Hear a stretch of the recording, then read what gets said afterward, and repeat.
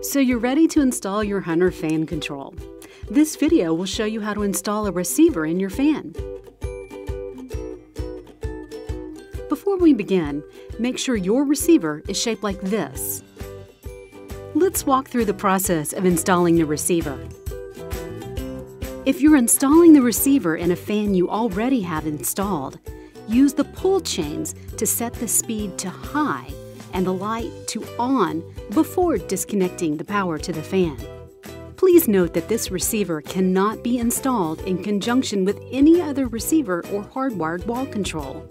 Having two receivers installed in one fan will cause faulty operation. Before we begin, make sure that you turn off the power at the circuit breaker to prevent the risk of serious injury. Next, unscrew and lower the canopy. Take a digital photo for reference on how to rewire before removing the wire connectors. Remove the wire connectors that connect the wires from the ceiling to the fan. If your canopy is crowded with excess wire, you may wish to follow these special instructions.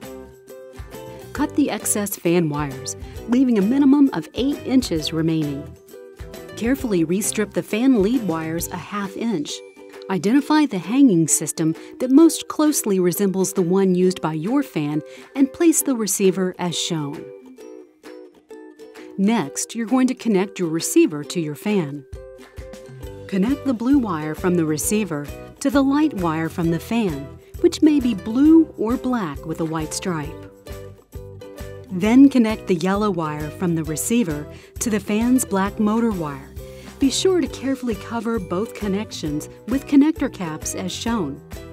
Connect the black wire from the ceiling, which is your ungrounded connection, to the black wire from the receiver, then connect the white wire from the ceiling, which is your grounded connection, to both the white wire from the receiver and the white wire from the fan.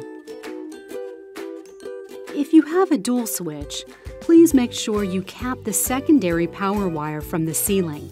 This will result in one unused switch. After all wires have been successfully connected and secured with wire connectors, reinstall the canopy. If this completes your installation, it's time to restore power to your ceiling fan. Congratulations! You're done installing your Hunter Control receiver.